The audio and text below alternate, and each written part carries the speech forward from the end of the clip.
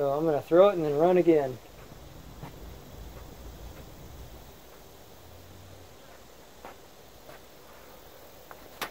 All right, I'm out.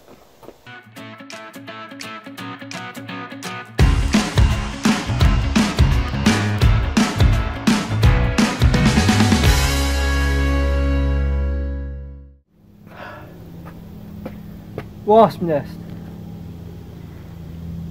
Now, how do I get rid of it? How do I get rid of them? I don't want to use any chemicals. I don't want to use gasoline. I don't want to use the, you know, the chemical spray stuff that you can shoot from a hundred feet away. But I want to do it naturally and I want to get it away from my house and get it away from everybody and my my grandkid. So, I've heard this thing called diatomaceous earth. And it's supposed to kill bugs, right? It's very hot out here. so, I'm going to give this thing a shot. I uh, actually have on hand some diatomaceous earth. I've got it in this bucket. Now, I don't have anything fancy that I plan on using on it. I just want to, you know, act like I'm really in a hurry and just throw some of that because, well, you know, our lives are in danger, right? When you get one sting, and these they're wasps, they can keep stinging you over and over. And if you're a little kid, you could go into anaphylactic shock if you're allergic to them. Well, if you're an adult too, but anyway, I just want to get rid of them, and I want to get rid of them quick. So, I'm going to throw some diatomaceous earth powder on them. And I get one chance.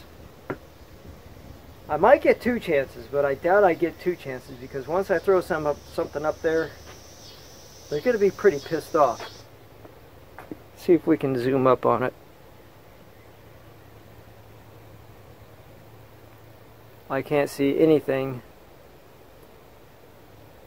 because it's very bright out here. So, I do have this handy pest pistol. But I want to act like nobody's got a pest pistol. But everybody should have diatomaceous earth because there's over a thousand uses for this stuff including eating it. Yes, it's, it's, it's that wonderful. It's just silica. All right, so here we go. I get one shot. And then my aim better be good. I'm going to get a giant handful and then I'm going to run. You know what's really frustrating? Well, it turns out I threw it up in there and then my phone camera shut off because it said that it got too hot sitting out here in the sun and out in this heat. So I'm going to show you what I did. I tossed it up there and real quick and I ran.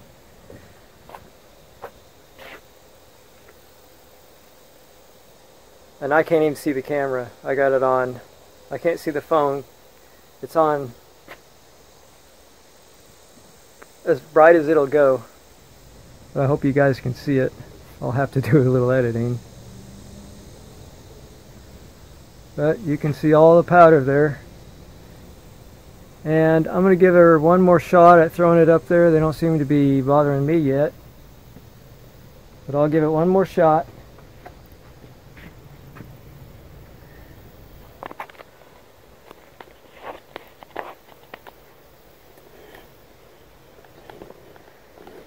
Can't really tell where this is. Hopefully it's on there. Okay. I'm going to show you exactly how I did it here and I'll back off.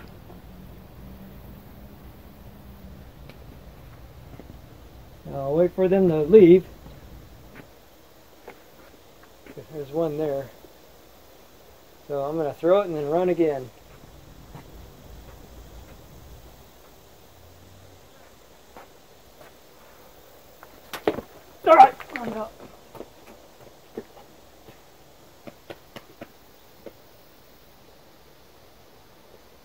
Sometimes if you get it directly on them, they just drop down to the ground. Now I see them flying around with DE on them. Here's one coming right towards me. Okay, he just fell to the ground and I stepped on him. He's gone. She. I don't know what it is. There's another one on the wall over there I could kill. But that's kind of what they do. They get the dust in their wings. They can't do anything. They drop down to the ground and bam, you pounce on them. All right. So that's that. It really works. So if you got diatomaceous earth, I use the food grade. Don't get any other kind. Use the food grade. Diatomaceous earth. Use it. And I guarantee you they won't come back to this nest. But we'll check on this nest a little bit later on and see how it's going. Okay. I'll see you in a bit. Okay, so here's what we're dealing with.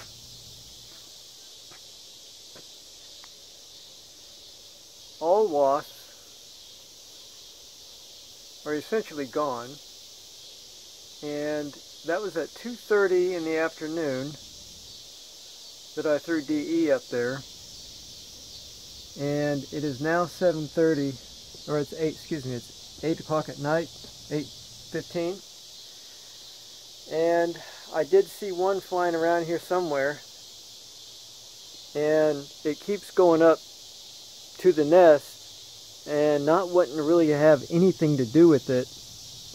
And sometimes it'll land on it and then just fly away because it didn't want to have anything to do with it.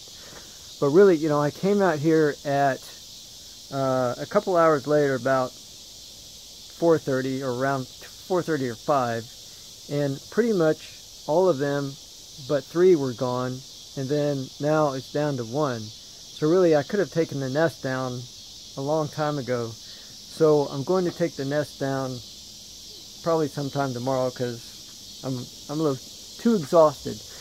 Uh, I did see one over here as if it wanted to make another nest. I see a little thing hanging down, a little stem, as I think one is trying to start another nest right there. So what I'll do is just throw a little DE up there and it'll be gone. And eventually no wasps will want to have anything to do with this place. They just move on. And this was the one that I stepped on earlier because it just fell to the ground. But those that did get DE on I'm sure they're eventually going to die because they'll end up just scratching themselves to death trying to get it off and it's like sandpaper and it'll scratch away their uh, cuticle, waxy cuticle that keeps the moisture inside them and they'll eventually dehydrate and die. So, but this is mechanically killing them and not chemically, so I'm not coming into contact with chemicals that yet. I'm coming into contact with diatomaceous earth which is 100% minerals. And nobody tells you this. You know what? Nobody tells you this. Diatomaceous earth is silica minerals from plants. Nobody tells you that. I've got some links down below in the description box. I'll link to all of my stuff on diatomaceous earth. But uh, it's got so many uses. And uh, I'm going to do another video on, on, on how I keep squash bugs away. So stay tuned for that. This is the Pauly Nation. Bye-bye.